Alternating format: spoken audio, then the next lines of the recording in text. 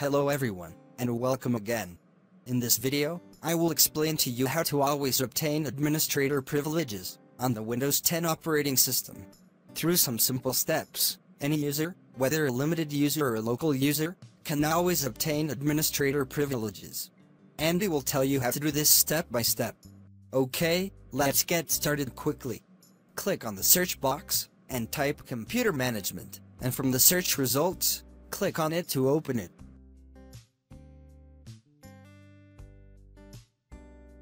After that, expand local users and groups on the left side.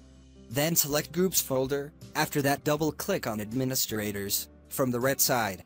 Here you will find members who have administrator privileges, and you can add a new member by clicking the add button.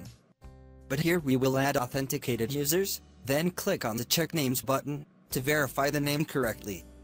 Then click on the OK button to agree to this. Click on apply and then OK. After these steps, if any user logs into this Windows, he will have administrator privileges. Because he has become a member of the administrators group, I hope the video is useful to you. And thank you for watching. I also hope you subscribe to my channel. Thank you all.